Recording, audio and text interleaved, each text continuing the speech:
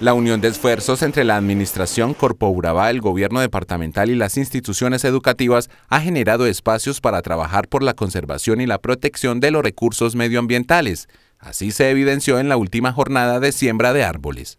Hicimos una siembra de una hectárea de especies nativas en, la, en el predio Manantiales, que es una reserva que ya se tiene destinada para hacer un banco de hábitat que es lo que viene promoviendo el Ministerio de Medio Ambiente, que se convierte en un banco de hábitat para que podamos conservar nuestras especies y todas las especies nativas que tenemos en, este, en este bello municipio de Urrao.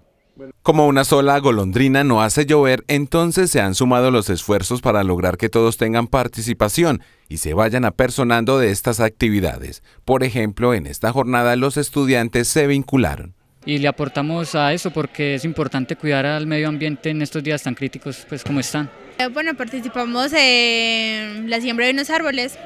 Eh, pues sí es muy importante porque eso nos ayuda a cuidar, pues a ayudar un poquito al medio ambiente, ya que muchos dañan árboles, entonces nosotros contribuimos a sembrar más.